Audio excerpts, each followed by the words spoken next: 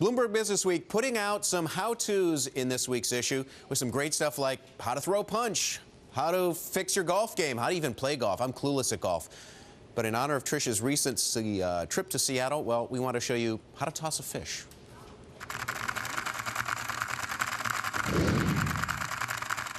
Hi, welcome to Pike Place Fish. I'm Erik Espinoza in Seattle, Washington, and we're going to show you how to throw a fish.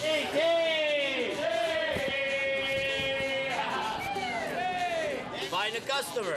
Hey, there's one. Come on up, sir. I would so love a fish. Pick one out. Uh, that guy right there. That guy right there, you got it. Exactly right there. So the first thing you want to do is pick up the fish. You grab it like this. What you want to do is like a lot of people, there's different techniques. They hold it right here and they throw it like that. You all right? Then uh, the way I do it is I do it both hands under. I kind of push with this one and kind of try to keep the head up so I'm going like that. So it lands for him. So he just goes, has to do that. Step two would be you yell what the fish is, like one sockeye salmon, and everyone yells one sockeye salmon. Then you go, hey. The A means it's in the air. And then they catch it and then find their customer. Fishy fives all around.